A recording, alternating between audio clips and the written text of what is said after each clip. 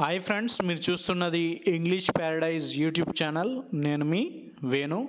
ఈ వీడియోలో మీరేం నేర్చుకోబోతున్నారంటే ఫిజిక్స్ ఫస్ట్ ఇయర్కి సంబంధించిన తెలుగు మీడియంకి సంబంధించిన four marks questions and eight marks క్వశ్చన్స్కి సంబంధించి ఇంపార్టెంట్ క్వశ్చన్స్ మీరు ఈ వీడియోలో నేర్చుకోబోతున్నారు.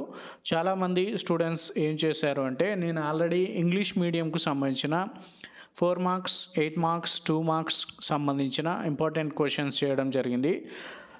చాలామంది ఏమన్నారు అంటే తెలుగు మీడియంకు సంబంధించి కూడా four marks eight marks two marks video చేయమన్నారు.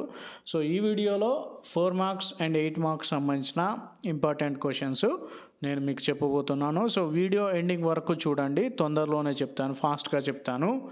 అండ్ ఇంకొకటి ఏంటంటే ఈ వీడియోలోకి వెళ్ళడానికి ముందు మీరేం చేయాలి అంటే ఇప్పటివరకు నా యూట్యూబ్ ఛానల్ కనుక సబ్స్క్రైబ్ చేయకపోతే ఇప్పుడే సబ్స్క్రైబ్ చేసుకోండి. రైట్ ఫ్రెండ్స్ మనం ఆలస్యం చేయకుండా వీడియోలోకి వెళ్ళిపోదాం. సో ఫస్ట్ మనం ఫిజిక్స్లో ఉన్న important four marks important questions ఇప్పుడు మనం చూద్దాం. సో ఫస్ట్ వన్ వచ్చేసి ఫోర్ మార్క్స్ సంబంధించి ఇంపార్టెంట్ క్వశ్చన్ వచ్చేసి ఒక ఎత్తైన భవనంపై నుంచి ఒక బంతిని జార జార విడిచారు. అదే క్షణంలో అక్కడి నుంచి ఇంకొక బంతిని కొంత వేగంతో క్షితిజ క్షితిజ సమాంతరంగా విసిరారు.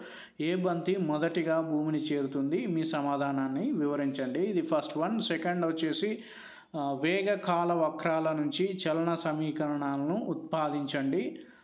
లేదా తగు రేఖాచిత్రంతో s is equal to ut plus one one by two at eighty at square చలన సమీకరణాన్ని ఉత్పాదించండి. సో మీకు ఇది స్క్రీన్ మీద క్లియర్గా కనబడుతుంది. సో అది చూడండి. నెక్స్ట్ మూడో ఇంపార్టెంట్ క్వశ్చన్ వచ్చేసి ఒక కారు మొదటి మూడు వంతుల దూరాన్ని పది కిలోమీటర్ల వేగంతోనూ రెండవ మూడు వంతుల వేగాన్ని ఇరవై కిలోమీటర్ల వేగంతోనూ చివరి మూడు వంతల దూరాన్ని అరవై కిలోమీటర్ల వేగంతోనూ ప్రయాణిస్తే మొత్తం దూరాన్ని పూర్తి చేయడంలో కారు సగటు వడి ఎంత?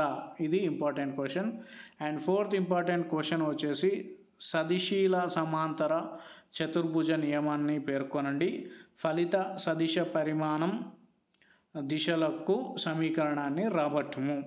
సో రైట్ ఇది ఫిఫ్త్ వన్ చూడండి. Mod a bar plus b bar is equal to mod a bar minus b bar అయితే ఏ బార్ బి బార్ల మధ్య కోణం నైంటీ అని చూపండి. ఇది బార్ అని అంటారా లేదా ఒకసారి మీరు చూసుకోండి. నాకు తెలిసిన వాటికు నేను ఆ క్వశ్చన్ అలా చదివాను. సో మీకు డిస్ప్లేలో కనిపిస్తుంది కాబట్టి మీరు ఎట్లయినా చదువుకోవచ్చు. నెక్స్ట్ ఆరవది వచ్చేసి క్షితిజ సమాంతర దిశకు కొంత కోణం చేస్తూ విసిరిన వస్తువు పథం పరావలయం అని చూపండి. సో ఇదన్నమాట ఆరో క్వశ్చన్. ఏడవ ఇంపార్టెంట్ క్వశ్చన్ వచ్చేసి ఘర్షణ వలన కలిగే లాభాలు నష్టాలను వివరించండి. ఎనిమిదవది వచ్చేసి ఘర్షణను తగ్గించే ఫలితాలను తెలపండి. నెక్స్ట్ తొమ్మిదవది వచ్చేసి దొర్లుడు ఘర్షణ యొక్క సూత్రాలు వ్రాయండి. పదో ఇంపార్టెంట్ క్వశ్చన్ వచ్చేసి ద్రవ్యరాశి కేంద్రం మరియు గరిమ నాభిల మధ్య భేదాలను వ్రాయండి. పదకొండు వచ్చేసి సదీశ లబ్ధం అనగానేమి? సదీశ లబ్ధం ధర్మాలను రెండు ఉదాహరణలతో వివరించండి. నెక్స్ట్ పన్నెండవ ఇంపార్టెంట్ క్వశ్చన్ వచ్చేసి కోణీయ వేగానికి నిర్వచనం తెలపండి. V is equal to r W రాబట్టండి. నెక్స్ట్ పదమూడో ఇంపార్టెంట్ క్వశ్చన్ వచ్చేసి కోణీయ తత్వాన్ని టార్క్ను నిర్వచించి ఈ రెండు రాశుల మధ్య సంబంధాన్ని తెలిపే సమాసాన్ని రాబట్టండి. నెక్స్ట్ వచ్చేసి ఫోర్టీన్త్ వచ్చేసి కోణీయ ద్రవ్యవేగ నిత్యత్వ నియమాన్ని తెలిపి నిరూపించండి. రెండు ఉదా ఉదాహరణలు రాయండి. నెక్స్ట్ పదిహేనవ ఇంపార్టెంట్ వచ్చేసి ఒక గ్రహం ఉపరితలంపై గురుత్వ త్వరణం విలువ జీ కామ విశ్వ గురుత్వ స్థి- స్థిరాంకం జీల మధ్య భేద మధ్య సారీ సంబంధాన్ని రాబట్టండి. పదహారవది వచ్చేసి కక్ష వేగం అంటే ఏమిటి? దానికి సమీకరణాన్ని ఉత్పాదించండి. ఇది సిక్స్టీన్త్ ఇంపార్టెంట్ క్వశ్చన్ సెవెంటీన్త్ వచ్చేసి పలాయన వడి అంటే ఏమిటి? దానికి సమీకరణాన్ని ఉత్పాదించండి. నెక్స్ట్ ఎయిటీన్త్ వచ్చేసి భూస్థావర ఉపగ్రహం అంటే ఏమిటి? వాటి ఉపయోగాలు తెలపండి. ఇది eighteenth and last important question వచ్చేసి క్రమంగా భారం పెంచుతూ పోయినప్పుడు తీగ పరివర్తన ఏ విధంగా ఉంటుందో వివరించండి. ప్రవర్తన సారీ తీగ ప్రవర్తన ఏ విధంగా ఉంటుందో వివరించండి. ఇవి ఫోర్ మార్క్స్ సంబంధించిన క్వశ్చన్స్ ఇవి చదువుకుంటే మ్యాక్సిమం ఫోర్ మార్క్స్కి సంబంధించిన ఆన్సర్స్ మీరు చేయగలుగుతారు. Next eight marks important questions ఇందులో రెండవది నాలుగవది కంపల్సరీగా చదవాల్సిన అవసరం ఉంది. Second and fourth questions are very important. ఇందులో మీకు నాలుగు క్వశ్చన్స్ ఇవ్వడం జరిగింది. ఇందులో నుంచి రెండు కంపల్సరీగా వస్తాయన్నారు సార్ అది. సెకండ్ అండ్ ఫోర్త్ చాలా ఇంపార్టెంట్. ఎయిట్ మార్క్స్కి సంబంధించిన క్వశ్చన్స్ ఇవి. ఎయిట్ మార్క్స్ క్వశ్చన్స్లలో ఈ నాలుగు క్వశ్చన్స్ మీరు ప్రిపేర్ అయితే సో మీకు పదహారు మార్కులు రావడం జరుగుతుంది. సో ఫస్ట్ ఇంపార్టెంట్ క్వశ్చన్ వచ్చేసి పని గతిజ శక్తి భావనలను అభివృద్ధిపరిచి ఇది పని శక్తి సిద్ధాంతానికి దారి తీస్తుందని చూపండి. This is the first important question రెండో ఇంపార్టెంట్ క్వశ్చన్ ఇది చాలా ఇంపార్టెంట్ క్వశ్చన్ ఇది కంపల్సరీ వస్తుందని చెప్పడం జరిగింది. అదేంటి అంటే శక్తి నిత్యత్వ నియమాన్ని ప్రవచించి స్వేచ్ఛగా కిందకు కిందికి పడే వస్తువు విషయంలో దాన్ని నిరూపించండి. సో స్వేచ్ఛగా కిందకు కిందికి పడే వస్తువు విషయంలో దాన్ని నిరూపించండి అన్నారు కదా. దానికి ఇవి నాలుగు రాయాల్సి ఉంటుంది. ఒక మర తుఫాకి ఒక మూడు వందల అరవై గుండ్లు పేలిస్తే అని ఒకటి ఉంది. ఒక పంపు ఇరవై ఐదు మీటర్ల లోతులో ఉంటే ఇన్ని ఎన్ని వాటర్ తీసుకుంటుంది అదొకటి. కొంత ఎత్తు నుండి స్వే స్వేచ్ఛగా పడే వస్తువు అనే ఒకటి ఉంటుంది.